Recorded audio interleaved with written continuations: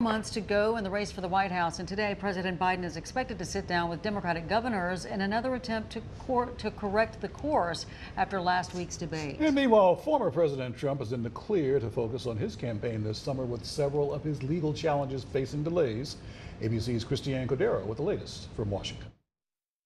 Today, President Joe Biden is set to meet with Democratic governors, rallying support after a week of setbacks. At a private fundraiser Tuesday, Biden again apologized for his debate performance, saying, I wasn't very smart, adding he was in at least 15 time zones before the debate, and that, quote, I didn't listen to my staff, joking that he almost fell asleep on stage. Biden returned to the U.S. 12 days before his showdown with former President Trump. During the debate, Trump spewed an arsenal of lies, including that everyone wanted Roe versus Wade overturned.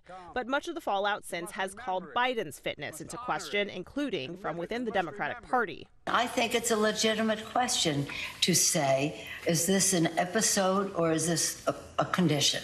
The White House is pushing back. What I can tell you is that um, he had a cold and a bad night. Uh, I would not see this as an episode. And a new poll released by CNN shows Vice President Kamala Harris performing better against Trump than Biden. She is in the majority of Democratic leaders doubling down support. Look, Joe Biden is our nominee. We beat Trump once, and we're going to beat him again.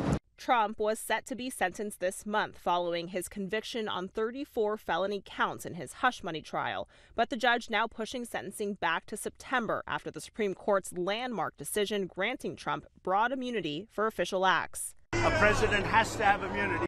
Judge Juan Merchan says he'll consider what, if any, impact the ruling has on the case. The growing pressure on President Biden in the almost week since the debate has turned his reelection campaign into a message of reassurance. Meetings with governors, congressional leaders, more press availability, including the first post debate sit down interview with ABC News on Friday, are all part of Biden's response. Christiane Cordero, ABC News, Washington.